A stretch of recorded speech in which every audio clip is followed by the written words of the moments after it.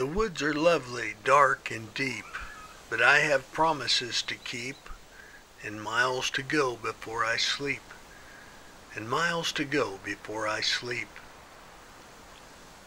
I think of Robert Frost's words in winter, especially if I can feel and taste a heavy snowfall in a dark understory. At a crossroads of thought they remind me of the wonder of life as light fades and my own hourglass empties. Like an ellipsis at the end of a phrase, the words call me to larger thoughts.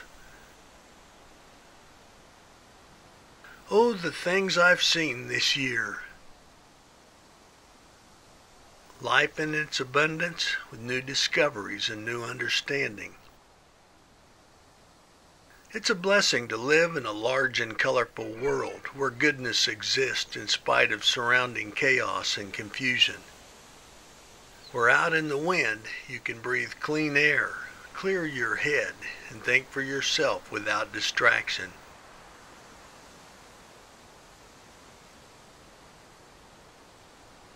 Up on a ridge on my land I placed a simple homemade spear where I often meet the maker.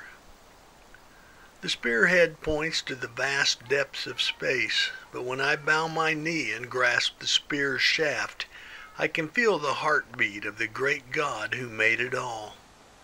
And I know he feels my pulse as well. So I come with cares, with thanksgiving. Petitions, yes, but also praise to the only one truly worthy.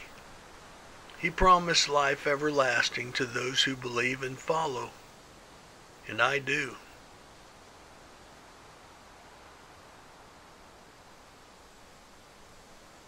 I don't know the miles still to go before I sleep, but I'll keep my own promises till then to share with others the great gift once wrapped in a Bethlehem manger when Jesus Christ was born to take our sins to the cross and he cast them far as east is from the west to whosoever believes.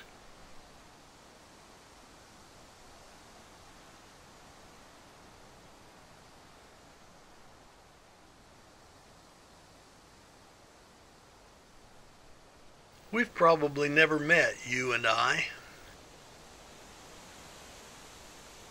If you follow my work, I'm happy.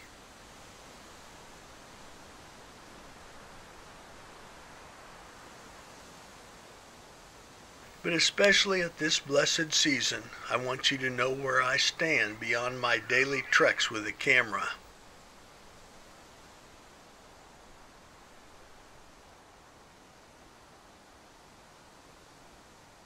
And I wish you joy at Christmas with the hope that you walk on the narrow way.